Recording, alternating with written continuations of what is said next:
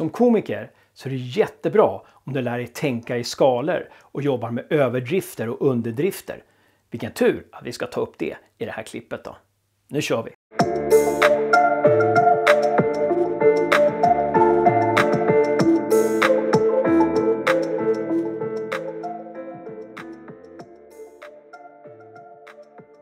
Att jobba i skalor är en sån himla bra metod när man vill komma på skämt. Eftersom man snabbt tar sig högt upp till lågt ner. Man tar sig mellan ytterligheter. Jag såg nyligen en föreställning om Mårten Andersson där han var i Serbien och undrade, ser jag en myrslok? Nej, det är ett marsvin med en cigarett. Så att jobba i skalor är att ta sig från den vanliga världen till den ovanliga världen. Det är att ta sig från stan till landet och göra det ganska snabbt. Det är den här snabba förflyttningen som gör att publiken får en känsla av oh. Vi ska ta ännu ett exempel. Det här från Ronny Eriksson. Man läser om kravaller i Kungsträdgården. Det är nästan som man blir imponerad. Det stället som jag kommer ifrån.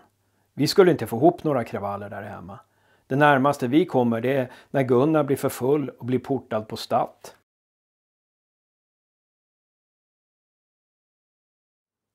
Här tar sig Ronny Eriksson från Stockholm, storstan, till sin lilla håla utanför Piteå.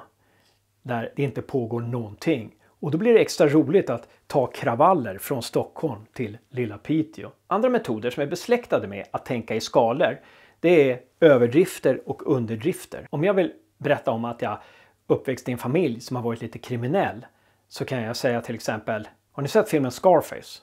Så var det när det var söndag. Eller om jag vill visa att jag har många barn och det är livligt hemma hos oss så kanske jag säger ja, det är som i Tokyos tunnelbana under rusningstid. När det är lugnt. Underdrifter kan också vara väldigt roliga. Som till exempel den här. Jag tänkte skicka ut ett specialerbjudande till mina fans. Men han fick inte permission. Det vill säga, jag har lovat att jag har någonting mer men det visar sig att det är egentligen mindre. Nu har vi kommit till den punkten att du ska få göra en övning. Här nere har jag tre inledningar på skämt, alltså setups, som jobbar med mått på olika sätt. Sådana setups är ofta tacksamma utgångspunkter när man vill jobba med skalor. Testa att skriva flera punchline till samma setup. Jag är så rädd för höjder att jag har sån respekt för min pappa att jag är så dålig på att laga mat att... Som vanligt ska jag sluta med ett av mina egna skämt. Jag har placerat pengar i olika fastigheter. Hoppas att ingen hittar dem.